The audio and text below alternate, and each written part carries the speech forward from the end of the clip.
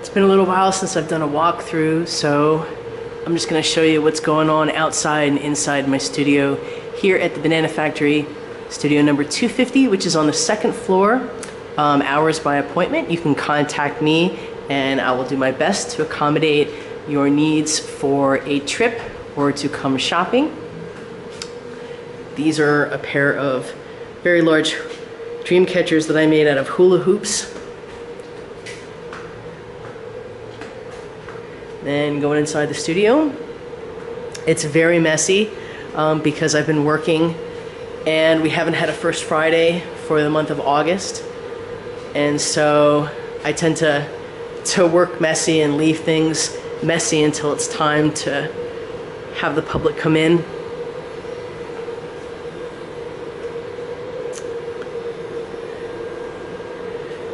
Right now, I am just about ready to take this piece down.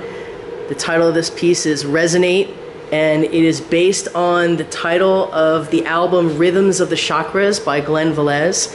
Uh, it will be part of the Banana Factory Artists annual group exhibition, which this year is called Contextualize. Um, and the theme was that we were to create a piece that was inspired by some form of text. And so my text was the album of that, that name, Rhythms of the Chakras. And there, I've even included a little bit of text. These are Sanskrit symbols uh, around the throat chakra. These are the, the symbols for each of the seven chakras that are depicted here. And I also included a mantra around the frame, which is uh, the mantra of light.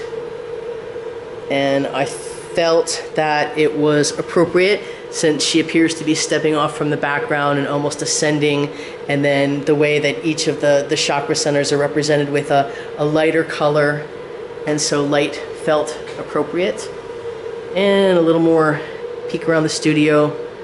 Again, um, not as clean and tidy and spiffy as it would be if it was uh, anywhere near First Friday, but I know lots of people actually like to see the artist's mess, so um, this is pretty much it.